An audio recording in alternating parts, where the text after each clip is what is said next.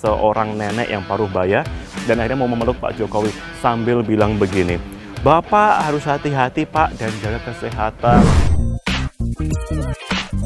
Pak, hati-hati ya Pak, jaga kesehatan. Hati-hati ya.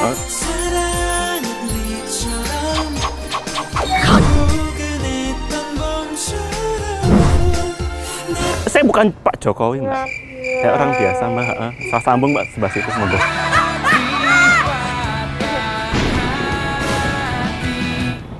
Dikejutkannya warga Wakatobi dengan ditemukannya bangkai paus sperma melihat pada waktu uh, terurainya isi perut tersebut ternyata isinya adalah sampah plastik. Dari dalam isi perut paus tersebut ternyata ditemukan ada 5,9 kg sampah